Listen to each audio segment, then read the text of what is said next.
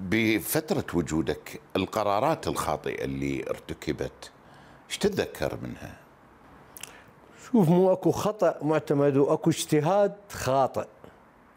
هسه لو تسأل أي مسؤول بالدولة هاي مو مبالغة أي مسؤول ما يعرف منو الأمر بإرسال الطائرات إلى إيران. أتحداهم هسه ال- آه، بعام 1991 1991 من دزينا الطائرات لايران حتى يحافظون عليها من الضربة. لا الرئيس عمر ولا أي مسؤول آخر.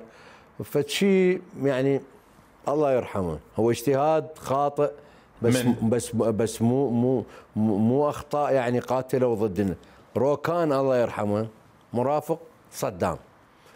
المرافق من يخابر أي مسؤول أكبر مسؤول بالدولة حتى لو يتصور شنو هذا الامر تبليغ من صدام من. صدام حسين فانا وروكان وراح تطلع عندي بكتاب وراح أحكي.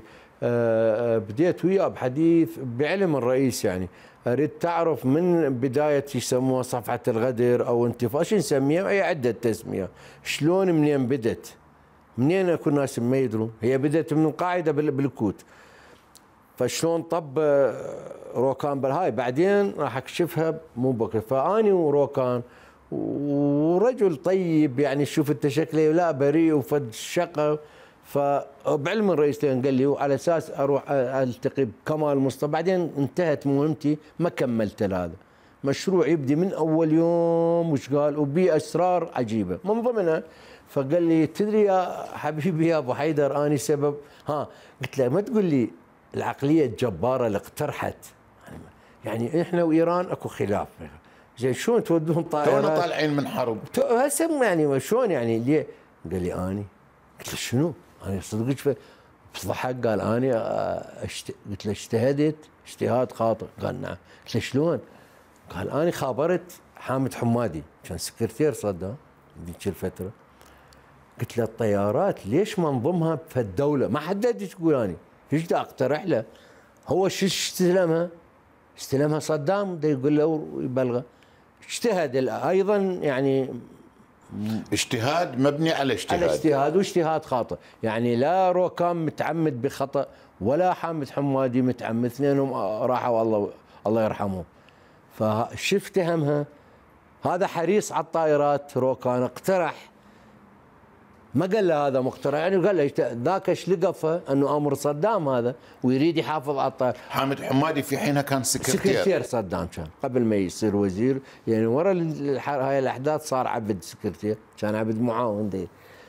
ففكر بأقرب دولة منه إيران باعتبار ابوها مقصد فأني تدري أكو مصاهرة بيني وبين حامد أكو قربة وكان كل شيء ودني الرجل. بعدين دخلوا دولة إنه خربوا يخافون لا يكشفهم بالإعلام. حتى الرئيس كان يقول لي روح قول له ورشحنا. فقلت له أستاذ حامد شلون يعني أنت فكرت بهاي؟ قال لي اني فهمت من خابرني روكان يعني الرئيس هذا. زين فكرت بأقرأ وكان أكو محاولات صلح تقارب العفو بين العراق وإيران إذا تتذكر. طبعا. أكو مش- كانت قائمة على قدم وساق. بالضبط. وتطورت أمور كثيرة طولت. بالعلاقات. أنا هاي حاكي لي بيه وأنا أدري. فقال لي والله العظيم يا قلت له أنا ما ادينك لا فالآن لا مدان روكان ولا حامد. اجتهدوا بس اجتهاد طلع خاطئ كلبت بها إيران. هسه تروح جيب لي أي مسؤول؟ هذا هذا سر كبير. هذا كنت مخليه هم ويا الكتاب بس آه، هدية لك. شكرا.